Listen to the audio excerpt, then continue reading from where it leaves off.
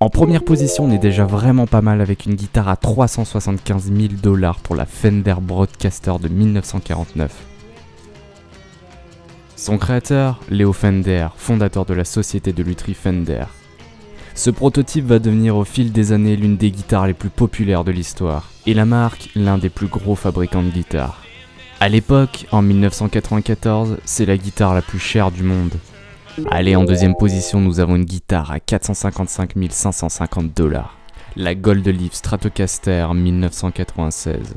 Et c'est Eric Clapton qui demande une guitare spéciale à Fender. Clapton voulait que la guitare soit une œuvre d'art en elle-même. Ce qui explique pourquoi 23 carats ornent la guitare. Pas fan de l'or comme ça. Allez, troisième position. Le prix commençait être bien énorme, 570 000 dollars pour une Gibson SG64, utilisée entre 66 et 69 par le guitariste George Harrison, membre des Coupes au bol, plus communément appelé Beatles. Une guitare bien épique, mais qui commence à coûter cher. Allez, tout de suite, on passe à la quatrième position. Putain de bordel de merde, une guitare à 623 500 dollars pour la Fender Composite Stratocaster de 1980. Pour le guitariste Stevie Ray. Malheureusement, on ne choisit pas son nom de famille. On connaît aussi cette guitare sous le nom de Lenny, diminutif de Lenora, sa petite amie. Euh, Enfin, si c'est encore sa petite amie, hein, qui lui offre cette guitare pour son 26e anniversaire.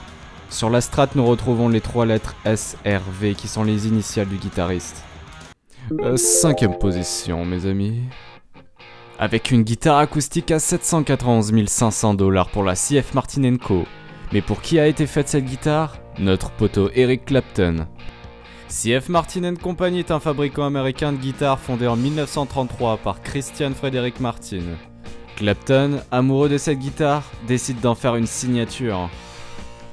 Allez, sixième position. Oh putain, les cowboys, on s'approche du million. 900 000 dollars pour la Gibson E ES 0335 TDC de 1964. Et pour qui? Encore une fois, Eric Clapton. C'est l'une des Gibson les plus chères au monde. Elle a été la guitare fétiche de Clapton en 1964. on entend que lui là depuis tout à l'heure. Bon, comme Eric Clapton nous a gavé, nous avons décidé de l'appeler Cracotte pour le reste de la vidéo. Allez, septième position. Ne- 959 500 dollars pour la Stratocaster hybride ou appelée Blackie. Désolé, ce prix m'est resté en travers de la gorge. Et cette guitare est destinée pour le guitariste Cracotte. J'aime quand c'est destroy. Huitième position, et mesdames et messieurs, faites péter le champagne, nous avons dépassé le million. Wow 1,2 fucking million de dollars pour la Washington 22 Series Hang de 1971. Et pour qui est cette guitare? Bob Marley. Allez, monte le son, Jean-Marc. Ouais, c'est bon.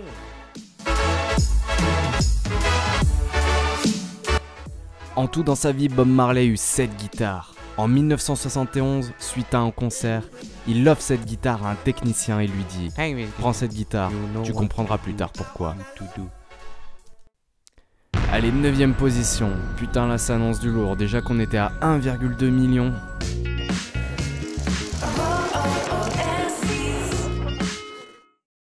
Bon, allez, j'arrête les conneries. Putain, si YouTube ne supprime pas ma vidéo avec tout ce que j'ai foutu dedans, je les respecte. 2 millions de dollars pour une Stratocaster de 1968 qui appartenait au légendaire guitariste Jimi Hendrix. C'est la guitare que Jimi Hendrix a utilisée lors du légendaire festival Woodstock en 1969. La rumeur veut que Paul Allen, le numéro 2 de Microsoft, ait acheté cette Stratocaster. Le petit. Et voilà, la dixième position. 2,7 millions de dollars pour la Fender Stratocaster avec signature. Cette guitare était l'objet d'une enchère en 2005 pour venir en aide aux victimes du tsunami en Asie.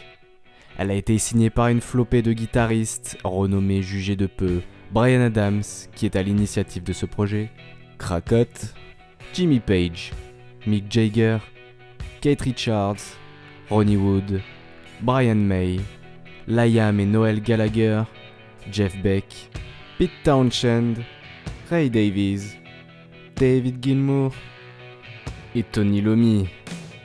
Voilà, c'est la fin de cette vidéo, j'espère qu'elle vous a plu. En tout cas, moi j'aimerais bien savoir quelle est votre guitare préférée. Moi personnellement, c'est la Gibson SG. Et puis comme d'habitude, à partager, parce qu'il y en a qui le font. Et ça me fait trop plaisir.